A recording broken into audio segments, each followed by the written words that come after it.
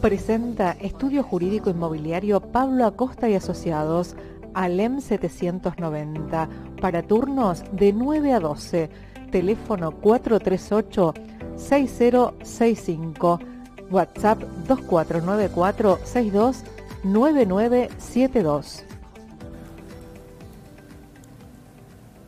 Muy bien, la presentación está realizada. Vamos a saludarlo entonces al doctor Pablo Acosta, el tema más que interesante, la renovación del contrato de alquiler. Doctor, ¿cómo le va? Buen día. Buen día, ¿cómo les va a ustedes? ¿Cómo andan? Muy bien, muy bien, doctor. Eh, está complicado este tema, ¿no? Eh, digo, está recibiendo muchas consultas sobre cómo debe, cómo debe hacerse. Eh, hay mucha gente que está un poco perdida con este tema. Así es, Claudio. Eh, una gran complicación se ha suscitado últimamente eh, debido a, una multiplicidad de situaciones. Es decir, nosotros estamos viviendo un proceso inflacionario importante, lamentablemente, y bueno, eh, lo que es la relación locativa no, no escapa a esta situación.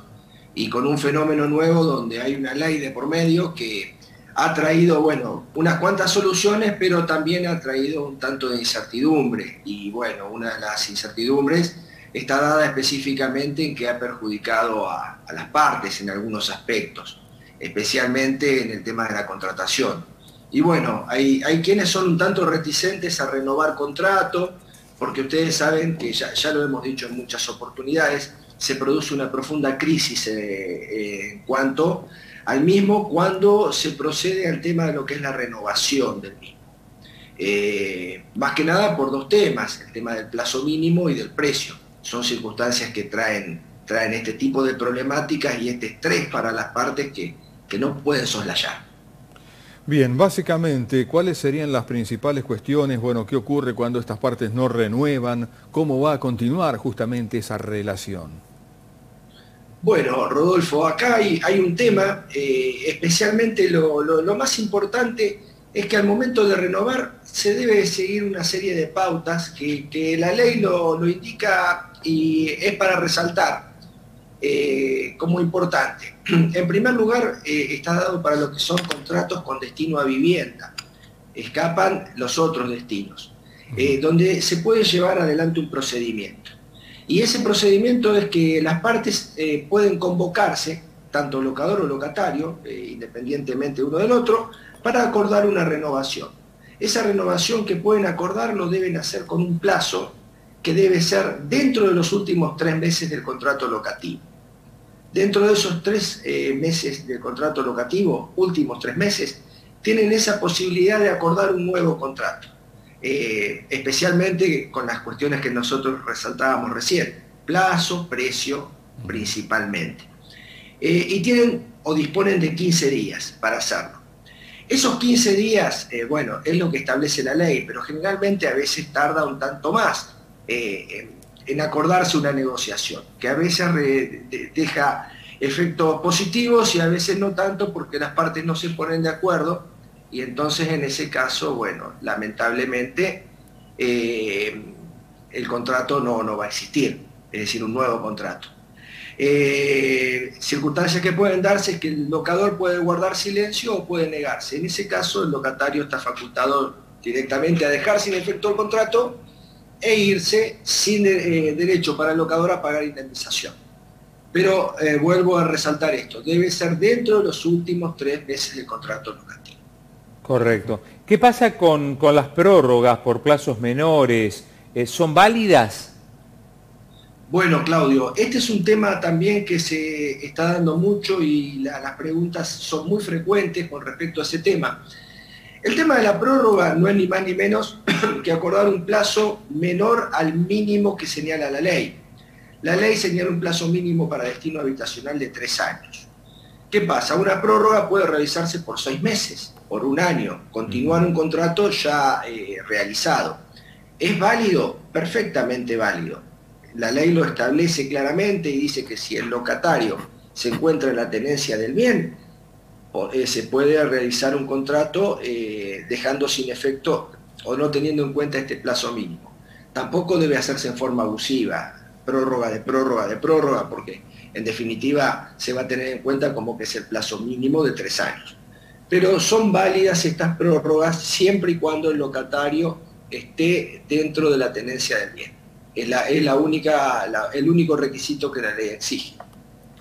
Correcto. Y al momento justamente de la renovación del contrato, ¿hay alguna pauta en lo que tiene que ver con valores, digo, teniendo en cuenta estos índices que se han dado por la ley para los contratos nuevos? Eh, digamos, como que es borrón y cuenta nueva, creo yo, cuando arranca un nuevo contrato.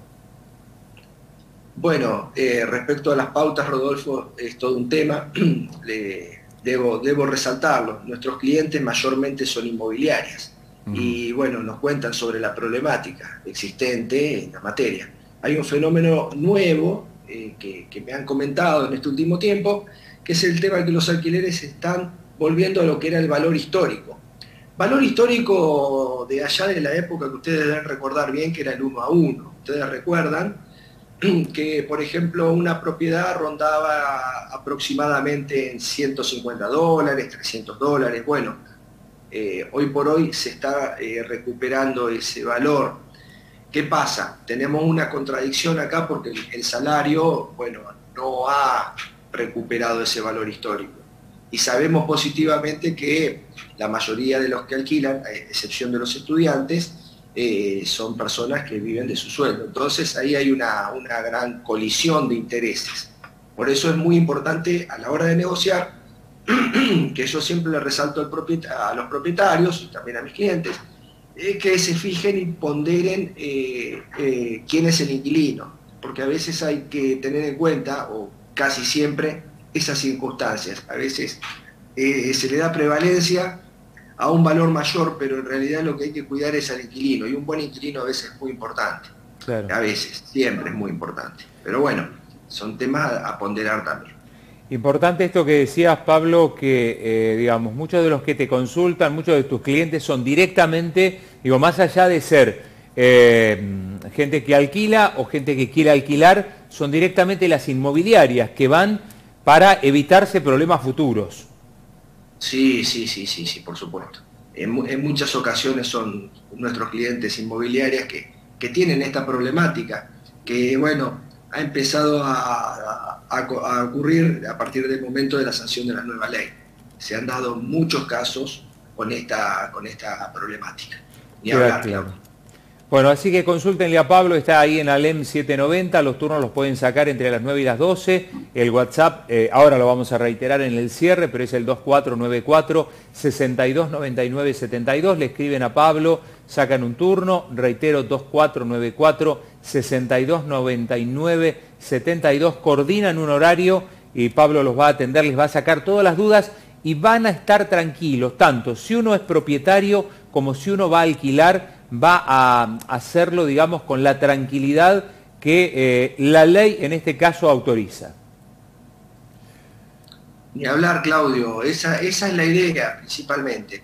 Eh, sí, importante que la gente se asesore y que tenga en cuenta algunas pautas para, para no después sufrir un eventual dolor de cabeza, ¿no?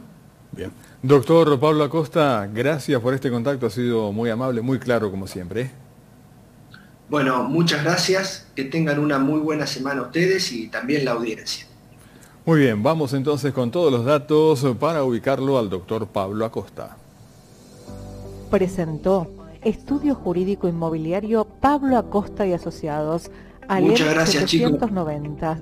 Para turnos de 9 a 12. Teléfono 438 6065, WhatsApp 2494 629972.